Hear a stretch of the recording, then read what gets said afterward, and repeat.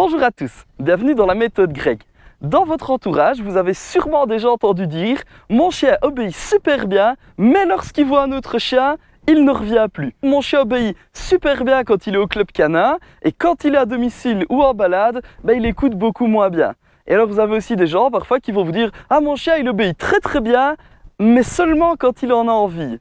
Alors il faut savoir que dans cette vidéo, on va déconstruire un mythe sur justement l'obéissance canine. Ce que je vais vous expliquer ici va changer à jamais votre vision sur le dressage des chiens.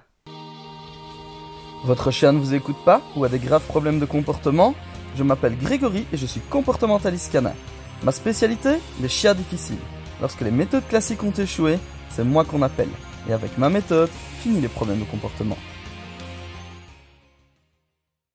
Dans cette vidéo, je vais vous expliquer la concordance de vue. La concordance de vue, qu'est-ce que c'est que ce bazar-là? En fait, pour mieux vous expliquer, moi ce que je vais faire, c'est qu'on va faire une petite expérience. On va changer de cadre, on va aller dans un endroit où il y a de l'espace, je vais prendre l'icon, je vais le lâcher sans laisse, et je vais le rappeler plusieurs fois pour vous montrer que l'icon maîtrise son rappel. Je vous reprends tout de suite.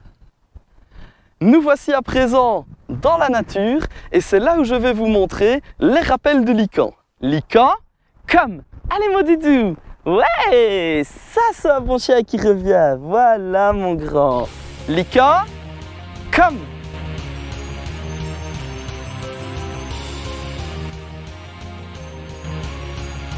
Lican, comme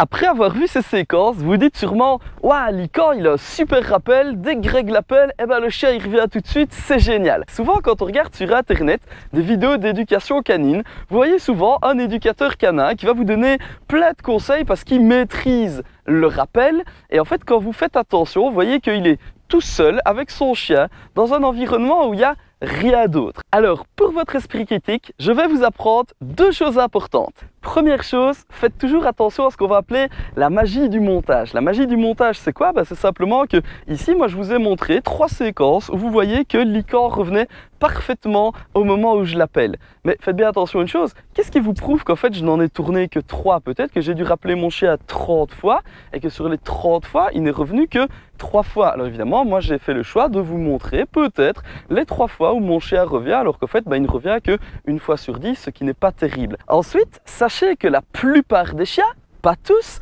vont avoir ce qu'on appelle un rappel naturel. Alors le rappel naturel, qu'est-ce que c'est?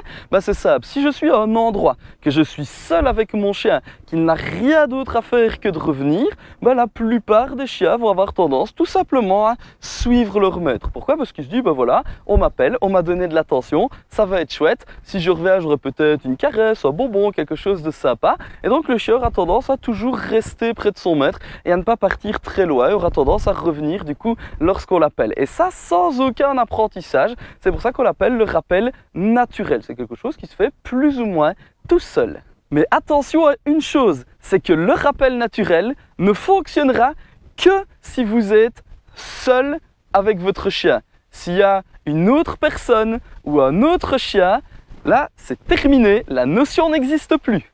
Pour ceux qui ont fait attention au rappel de Lican, vous aurez sûrement remarqué que lorsqu'il revient, à chaque fois, je lui donne un petit peu de nourriture, je lui donne quelque chose à manger. Alors là, vous allez me dire, bah oui, mais attends, Grégory, c'est normal, tous les éducateurs font ça, donner au chien un peu de nourriture quand il fait bien les choses. Et c'est là qu'on va déconstruire un mythe. Sachez que si vous dressez votre chien à coup de nourriture, eh bien en fait, vous allez créer tout au plus ce qu'on appelle une bonne concordance de vue. Lune? Une concordance de vue? C'est quoi ça? Alors, je vous rassure, ce n'est pas un gros mot. La concordance de vue, qu'est-ce que c'est? Pour vous expliquer, on va reprendre la séquence du rappel de Lican de tout à l'heure. Comme je vous l'ai dit, et comme vous le voyez sur les vidéos, je suis dans un endroit où je suis tout seul avec mon chien. Ce qui se passe en fait, c'est que moi je rappelle mon chien, donc comme je rappelle mon chien, moi j'ai envie que mon chien revienne. Ça c'est ce que moi je veux. Mon chien, lui, qu'est-ce qu'il se dit? Il se dit, ben voilà, je suis tout seul avec mon maître, si on me rappelle et que je reviens, à ce moment-là, qu'est-ce qui se passe? Ben, il va me féliciter, je vais avoir à manger, je vais avoir des caresses, ça va être sympa, je vais avoir de l'attention. Et donc du coup, mon chien, lui, qu'est-ce qu'il veut? Ben lui, il veut revenir. Et là, on va dire que du coup, on veut tous les deux la même chose. Moi, je veux qu'il revienne et lui veut revenir. Pas pour les mêmes raisons, mais on dira que nos vues concordent. Nous voulons tous les deux la même chose et c'est ça la concordance de vue. Oui, mais Grégory, t'exagères. L'important, c'est que les chiens y soient revenus, non? Ah oui, vous croyez? Contre-exemple. Oui. Nous voilà revenus en pleine nature. À présent, je vais vous montrer le rappel du lican en présence d'un autre chien et en présence de nourriture. Maintenant, on a quelqu'un qui arrive avec un chien dans le chemin. Je vais lâcher lican et on va voir ce que ça donne au niveau du rappel. Il est parti. Je rappelle. Lican, comme. Allez, Loulou, comme. Ici, on voit qu'il joue avec l'autre chien. Il ne m'écoute absolument plus. Lican, comme.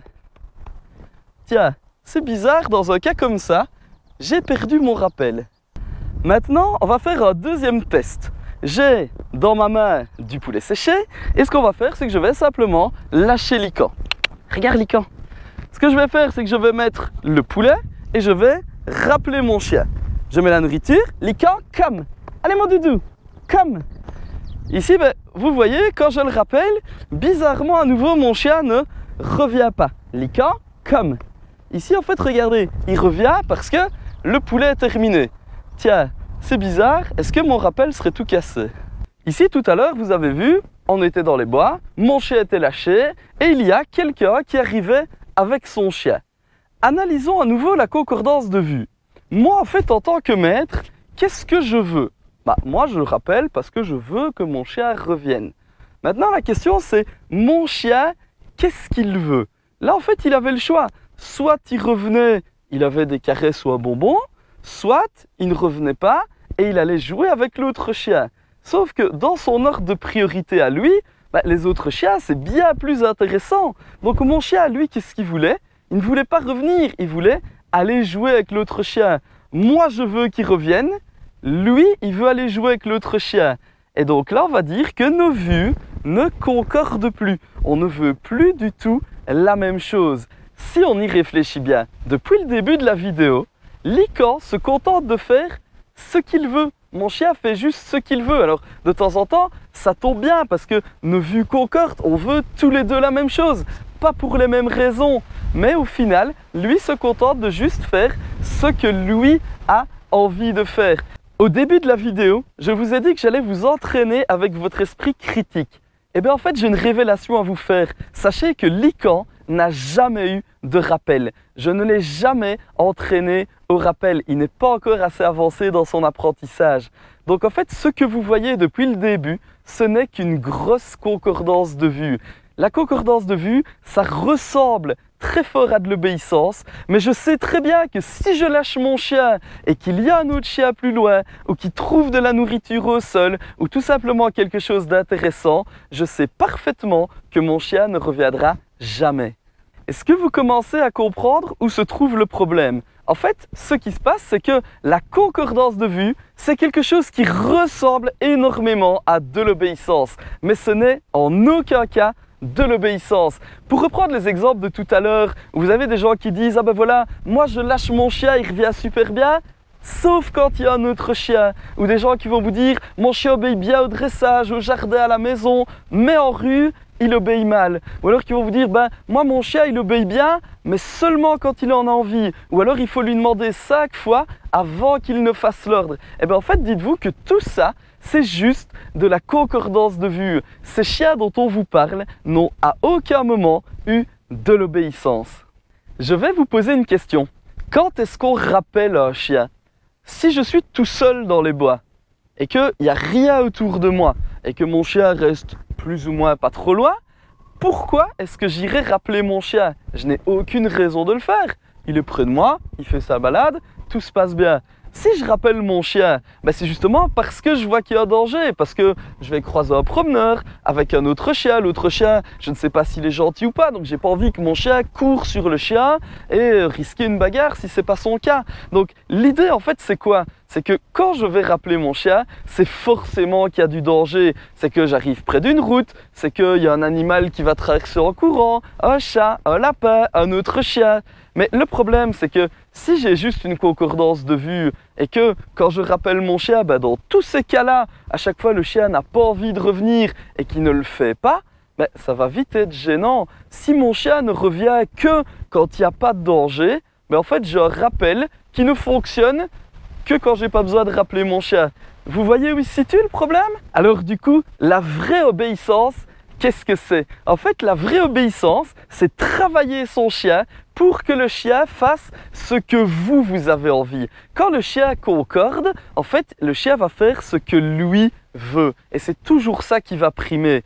Or, lorsqu'on a une vraie obéissance, si je veux rappeler mon chien et que mon chien a envie d'aller jouer avec l'autre chien, par exemple, eh ben, un chien qui obéit va revenir parce que moi je veux qu'il revienne. En fait, l'obéissance, c'est ça. C'est apprendre à un chien et c'est vraiment pour sa sécurité et pour pouvoir le lâcher en toute sécurité qu'on va apprendre l'obéissance à un chien. Mon chien doit faire ce que moi j'ai envie, pas ce que lui veut, parce que souvent ce que lui veut peut le mettre en danger.